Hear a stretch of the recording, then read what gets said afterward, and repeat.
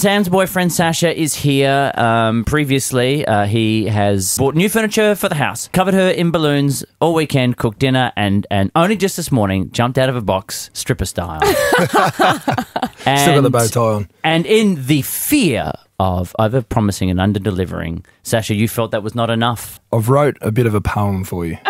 Yes. Yeah, or it's like a love poem, but I like to call it a loem.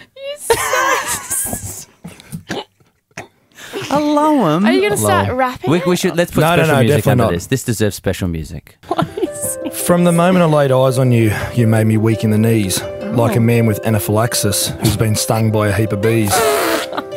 Walking up to you in Sydney on that fateful night, I was taken back by your beauty and thought, Struth, she's a bit alright. I was sweating bullets in my bowl of fruit. All I could think about was you and not getting the boot.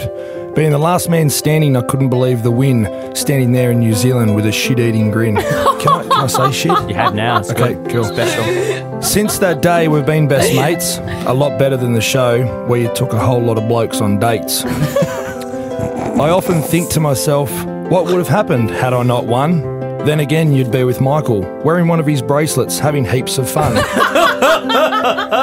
I've got in italics here, eyes wide open, expressionless emoji face.